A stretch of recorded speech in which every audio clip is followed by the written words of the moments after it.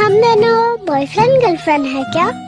No क्यों? क्योंकि girlfriend बहुत डिमांडिंग होती है।